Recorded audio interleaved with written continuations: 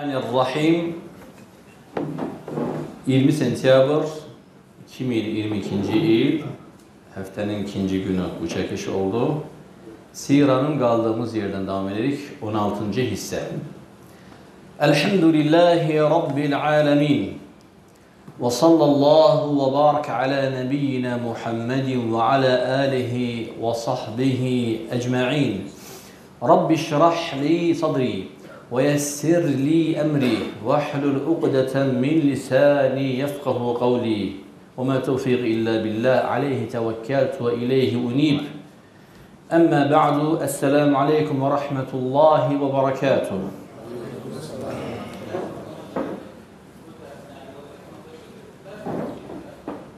Siradan 16-cı hissəyə çatdıq və Allah Nəbisi sallallahu aleyhi və səlləmi bilirsiniz, ilkin olaraq Kabe'ye bırakmadılar. Bu etibarla onlar ehramdan çıxdı və növbəti dəfə Umratul Qadiyyə qəza niyyəti ilə ümrəyə gəldilər. Bu ərəfədə tarixdə böyük bir hadisə baş verdi. Böyük şəxsiyyətlərdən İslam'a girənlər Xalid ibn Valid və Amr ibn As Həmçinin Üthman ibn Talha bu üç şəxsin İslam'a girməsi baş verdi. Müxtəsər olaraq, giriş olaraq bu böyük şəxsiyyətləri tanımaqdan ötürü Siranın əvvəlindən çatdığımız yerə kimi çox qısa bir xatırlama götürək.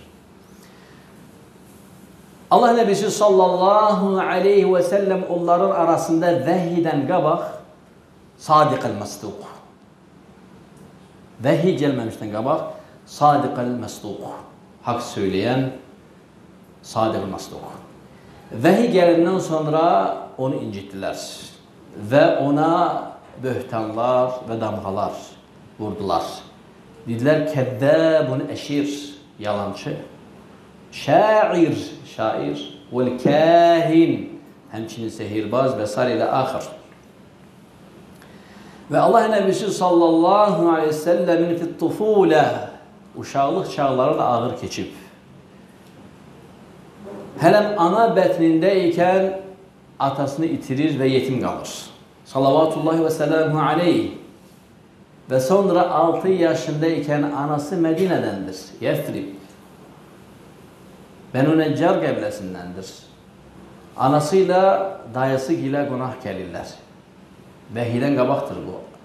Və Mədinə şəhərindən çıxarkən 6 yaşında bu körpə mübarək və anasının kənizi Ummu Eymən böyük bir müsibətlə rastlaşır. O da nə idi? Muhammed öz anasını itirir. Sallallahu aleyhi ve sellem. Və təsəvvür edin 6 yaşında uşaq anasının dəfnində iştirak edir. Tək və kəniz. Mədinəyə yaxın bir yerdə. Bu digər bir müsibət. Və sonra onu himayəsinə götürür babası. Çox qısa müddətdən sonra babadan da yetim qalır. Bundan da qabaq nədir? İlk yetimliyin ən zirvə məqamı olan ana bətnində ikən atasını itirir. Və sonra Abdülmuttalibdən sonra Abu Talib ona sahib çıxır, əmisi. Evlənir aleyhissalatü vesselam Xədicə bint Xüveylid ona ilk iman edən, ilk dəstək olan və sonra dinlərində ağır sınaqla ibtila olurlar. Onları Məkkənin qırağında blokadaya salıb 3 il müddətində hər şeydən təcrid edirlər. Onlar orada ac qalır. Hətta kiçik uşaqlar, xəstələr, qocalar bir-bir tələf olurdu, məhv olurdu. Və həmin anda, həmin vaxtlarda blokadanın qurtarmağına axırıncı günlər qalmış növbəti bir sınaq əmsi kimin himayəsində və civarındaydı? Abu Talib can üstündə gəlirdir ki, ya əmmə, bir dəfə la iləhə illallah dinə sənə şəfaat edeyim və o qeyri-İslamda dünyasını dəyişir və bu da onun hüzününü artırır. Təzəcə bu işdən qutarmışdı ki, Cəbrail əleyhissalam nazil olur və deyir ki, ya Muhammed ədrik, özünü çatdır, Xədicə də can üzərindədir. Gəlir Xədicəni öz mübarək hicrinə, fəxsinə, bunun üzərinə qoyur və deyir ki, otaqda tək deyiləm Xədicə, Cebrail buradadır. Sənə salam söylüyor. Və deyir ki, Allah Xədicəyə salam söylüyor. Deyin ki, ona Allah ona salam söylüyor. Xədicə anamız da səlamı alır. Bu da digər bir müsibət. Xədicə anamızı itiririk. Radiyallahu anhə və Allahə. Abu Ləhəb La'netullahi aleyhi. Halbuki ona en yakın insanlardan minel qarabe çünkü emisidir. Ona destek olmaktan ona en ağır ilk kin düşken, düşmenlerinden biri çevrilir. Mekke'de giden davet esnasında fikir vermeyin. Kardeşimin oğlu mən bildim. Havalanıp diye böhtan yayır ve onu mecnun kimi Qureyş'e teklif edir. Allahu Akbar. Ve sonra ona karşı Mekke'de şiddet artır. Nesil ve necabəti Mekke'den olmayan zayıf Müslümanları, nesil ve necabət cəhətdən zayıf, imandan yox, dözülməzi işgəncələrə məvaz edirlər. Kimisə qaynar qumun üzərində qayanı sinəsinə, kimisə qırmaqlayırlar, kimisinin də anasını və atasını gözün qabağında qumun üzərində vəhşicəsinə öldürürlər. Allah Nəbisi sallallahu aleyhi ve sellem ona ilk iman edenlerin etrafında tavaf ederek deyir ki səbr eləyin. Sizin görüş yeriniz cənnətdədir valideynlərinizlə. Onlara təsəlli verir. Hətta müsəlmanlardan biri gəlir Allah Nəbisi sallallahu aleyhi ve sellem'i Kabe'nin kölgəsində tabaraq ya Resulallah sen görürsən biz hansı hala kimi gəldik. Allah'tan iste bize kömək etsin. O diyor ki and olsun ki Allah'a Allah bu nuru tamamlayacaktır. Birisi San'a Yemen'den çıkacaktır. Kudsə, Beyt-i Maqdis'e gelecektir tek başına koyunlarını da kurtlara tapşırmış bir halde. And olsun ki Allah bu nuru tamamlayacaktır. Sadece olarak siz çok telesken bir ümmetsiz.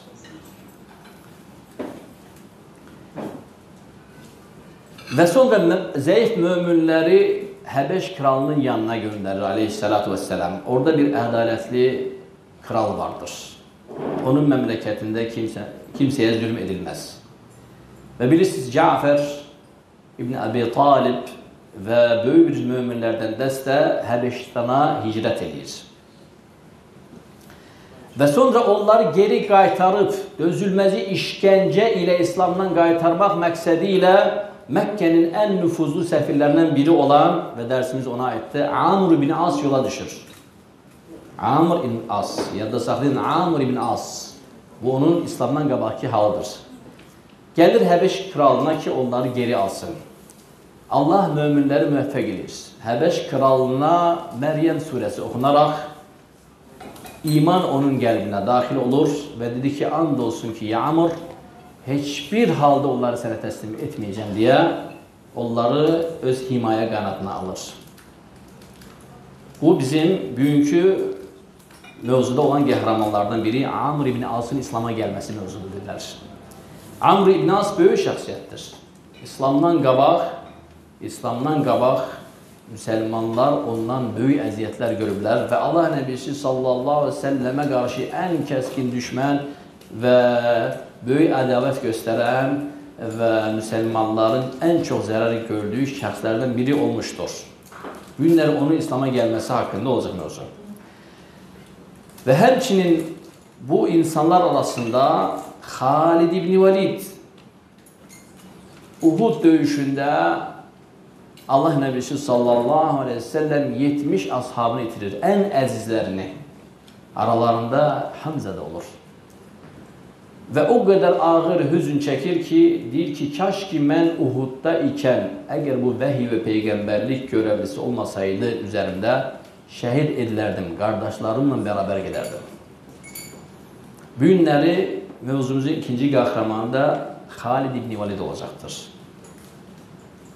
Və sonra bilirsiniz ki, ardı-ardıya qazavat və döyüşlər uğur dalınca uğur, uğur, uğur, uğur və artıq biz hicretin 8. ilinə gəldik çatdıq. İslam Mədinədə qərar olmuş və artıq onlar ümrəyə gəlirlər. Ümrəyə gəlirlər. Və birinci ümrədən mən, edildilər, bilirsiniz. Və sonra digər ildə Umratul Qadiyyə, Qəza ümrəsinə gəldilər. Salavatullahi və sələmu aleyh. Bu ümrədə, bu ümrə hadisəsindən sonra iki daha böyük şəxsiyyət Xalid ibn Valid və Amr ibn As radiyallahu anhum İslam'a girir. Xalid öz İslam'a girməsi haqqında bizə söylüyor. Deyir, Allah-u Teala mənə xeyir qapılarını açmaq istəyəndə İslam sevgisini qəlbimə atdı.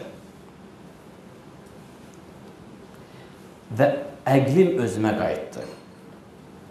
Və öz-özümə düşünərək dedim ki, mən Muhammedlə nə vaxt ki, üz-üzə gələrəmsə, mütləq ki, qəlbimdə bir yəqinlik var ki, o qalib və mən yenidən məğlub ediləcəm. Çünki onu qalib edən var. Və hər dəfə onunla döyüşə çıxanda əmin idim ki, o qalib olacaq, qalib ediləcəkdir. Məkkə müşrikləri Muhammed və onun ashabı ilə sülh bağlantısı eləyəndən sonra bütün az qalıb ümidlərim kəsildi. Bundan sonra dedim ki, indi nə qaldı? Birazdan Məkkədə Muhammedin olacaqdır. Artıq bütün Ərəb yarımadası İslamı qəbul edəcək. Ay Xalid, hara gedəsən? deyə özümə soruşdum. Və düşünərək öz-özümə deyirəm, gedim Həbəş kralının yanına, ona təslim olum, onun məmləkətində yaşayım. Artıq mənim burada işim yoxdur.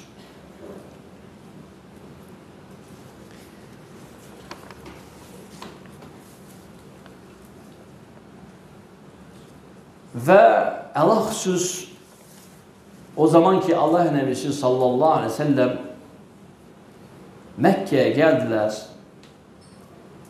və Məkkədə Xalid öz ordusuyla, onda müşriklərin atların üzərində idi bir daha da özünü sınamaq istədi və istədilər onlara hücum çəkməyə və çox qəribə idi ki, həmin an Allah Nəbisi sallallahu aleyhi ve sellem Xalidin orada mövcud olmağından xəbərsiz idi.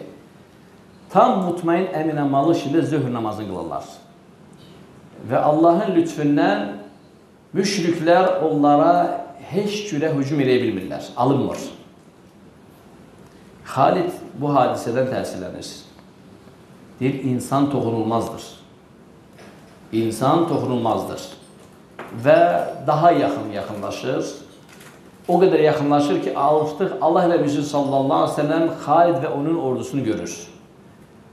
Asr namazını isə xovf namazı qılırlar. Qardaşlar, xovf namazı döyüşdə olan məxsus bir namazdır. Çox qısaldılmış, qiblə istiqaməti düşmən götürülür. Kəbə yox və silahlar əlində ayaq üstə qılınır. Bir rəkatı bir dəstə qılır ayaq üstə, sonra arxaya çəkilir digər dəstə gəlir, digər rəkətə qılır. Bu namazın heyətini onlarda görəndə başa düşdüm ki, insan toxunulmazdır. Mən ona heç nə bilməyəcəm. Yəni, döyüşdəykən hücum eləsəm, qiblə istiqaməti əvəzinə üzü bir də tutub. Silahlar da əlində. Onlar hazırdılar.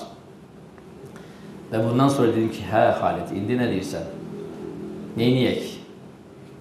Düşündük ki, gedim Nəcəşinin yanına, Həbəşi kralının yanına. Amma Nəcəşi, Nəcəşi xristiyan. Dedim, bəlkə gedim Heraklə. Herakldə Nasrani, xristiyan, yoxsa dinimdən çıxım, əcəmi olan bir padişahın məmləkətinə, məmləkətinə girim, ona təslim olum. Ona tabi olum. Bilmirəm neyini belə, tərəddüd içində qalır.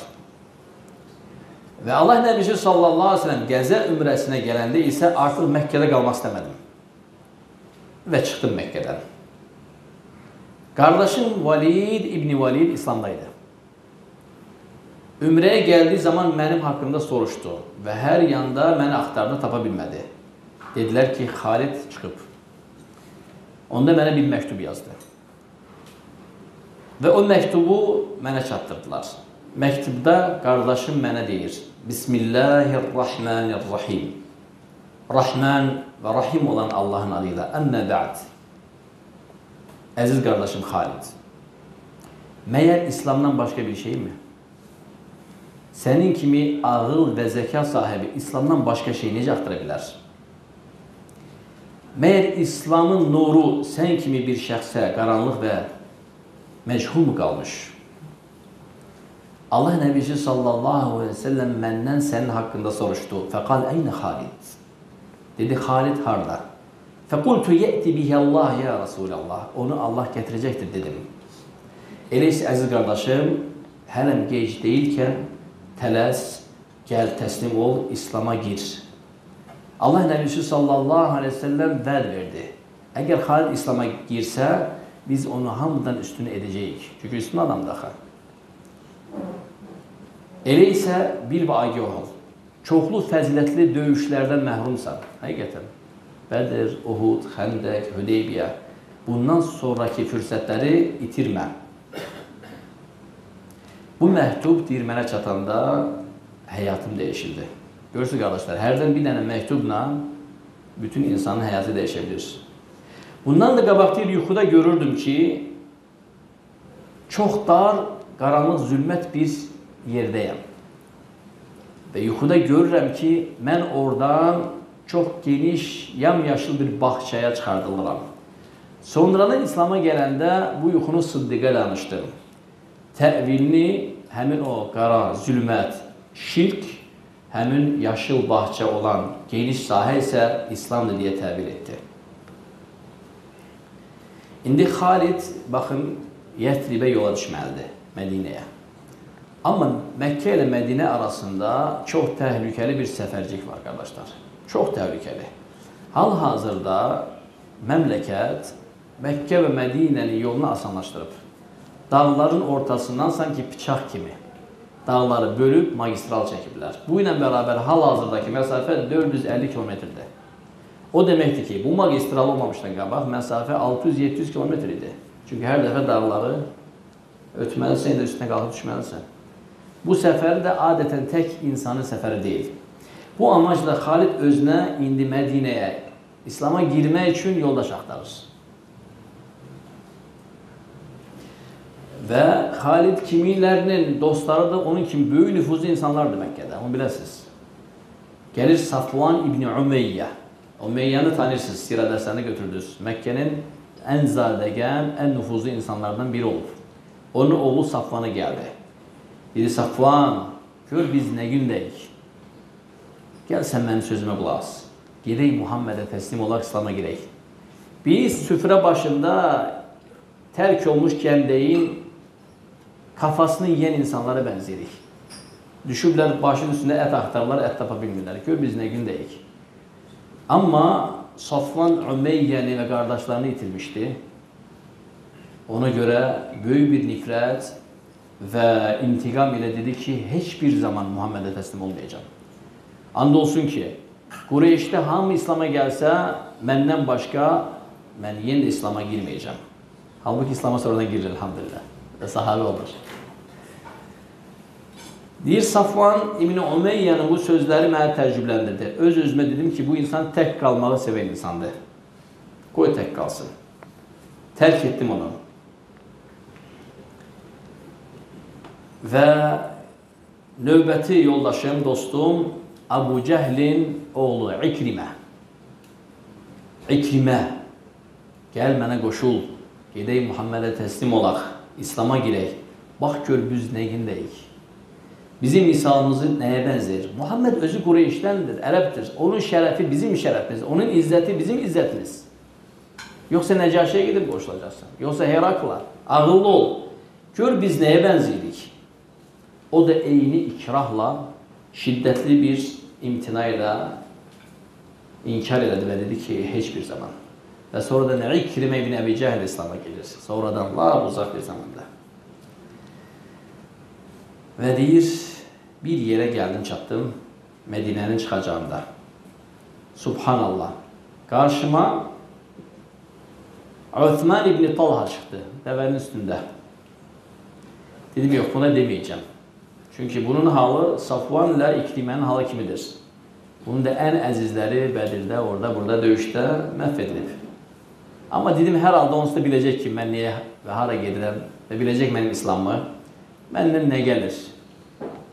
Dedim Osman, heç bilirsən hara gedirəm? Yox.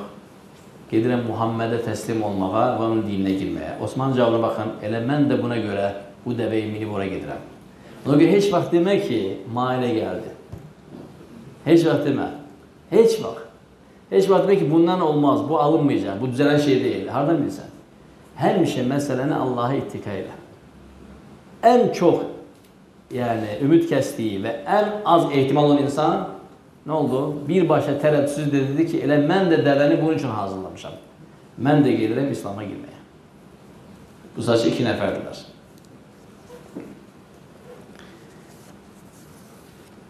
Və yola çıxırlar və Mədinənin çıxışında Amr ibn As'ı görürlər. Tanıtdıq inşallah, xatırlama verdik Amr ibn As. Amr ibn As bu iki nəfəri görür. Bunlar da Amr ibn As'ı. Soruşurlar, Amr, sən hara gedirsən? İstiqamət eynidir. Amr, bəs siz ikisiniz hara gedirsiniz? Dedilər, biz Muhammedə təslim olmağa, İslam dininə girməyə gedirik. Sizcə cavab Amr'a nə, get, nə gəlsə yaxşıdır? Mənim də dəvəm bu niyyətlə evdən çıxıb. Mən də İslamı qəbul eləmək niyyətinin qərarını dünən axşam vermişəm, sabah da yola çıxdım. Subhanallah. İndi Amrın İslamı belə sürətlə tərəddüdsüz qəbul elmə hikməti birazdan asılacaq.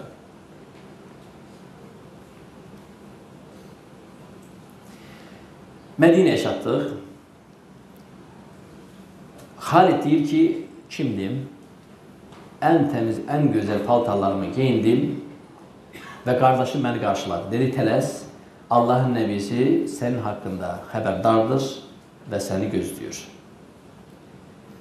İçəri girdim və Allah nəbisi sallallahu aleyhi ve sellemin üzü nur parçası kimi parıldayır və təbəssüm eləyərək mənə baxır. Nübuvvə təhiyyatı ilə Əssəlamu aleykə ya Rasulallah deyə salam verdim. O da mənim salamımı aldı və mənə təbəssüm eləyərək baxırdı.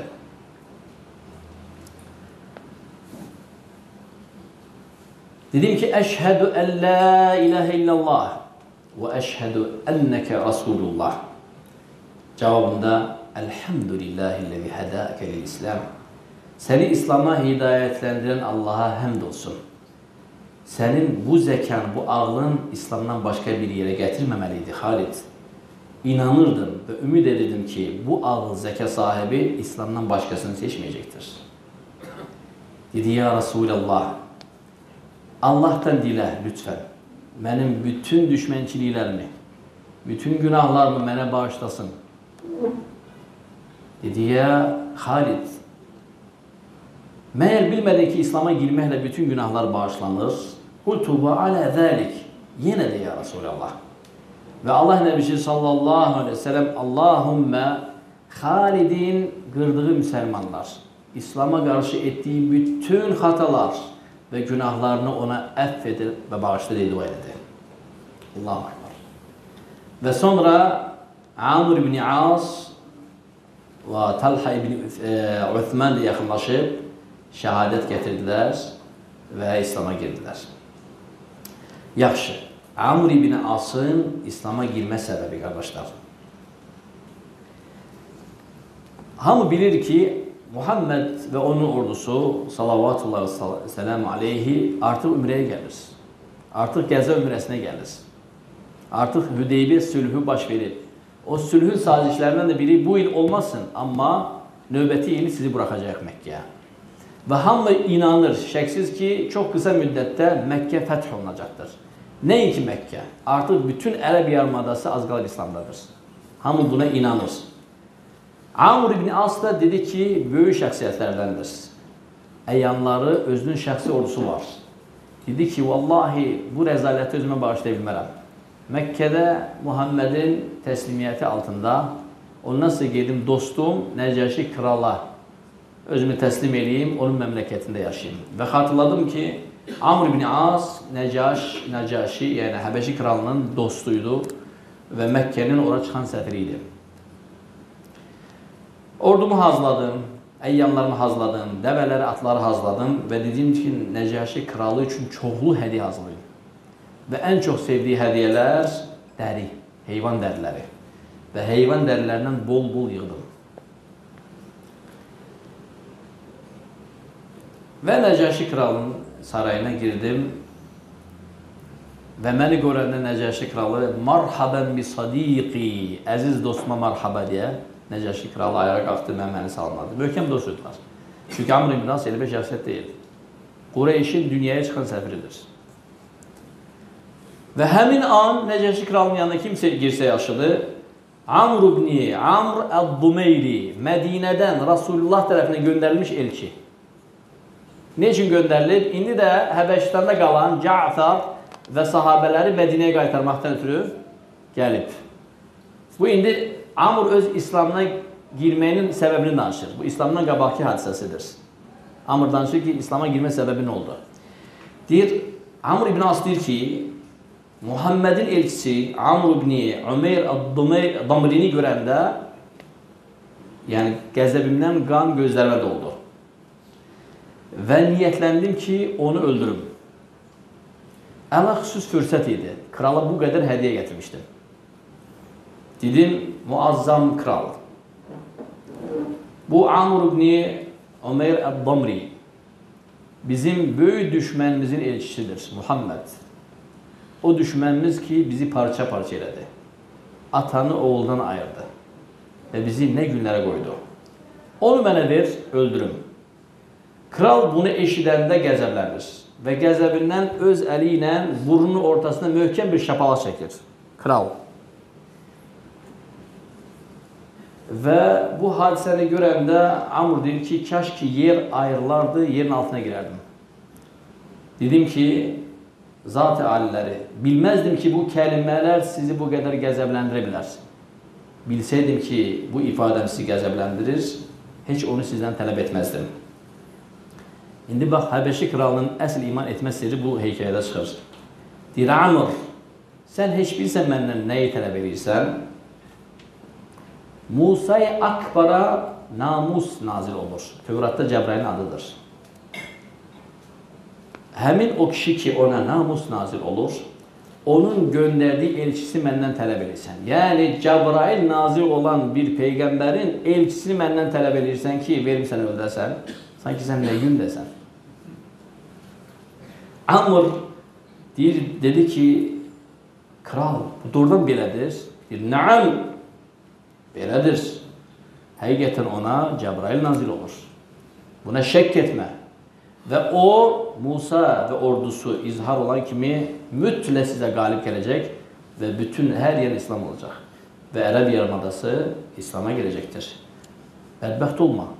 Vaxtında ged ora təslim ol, İslama gir, qurtul. Bu sözlərdən sonra artıq qəlbimdə heç şək qalmadı ki, Muhammed Allahın göndərdiyi haqq nəbidir. Kral, Həbəşi kral iman edib, biz. Təsəvvür edin. Dedim, kral həzrətləri, elə isə indidən mənim beyyətimi onun əlindən, onun adından al. Həbəşi kral əlini uzadır və Amr ibn Az Muhammedin Rasulullah olması beyyətini kralın əli ilə eləyir. Və sonra ora gəlir.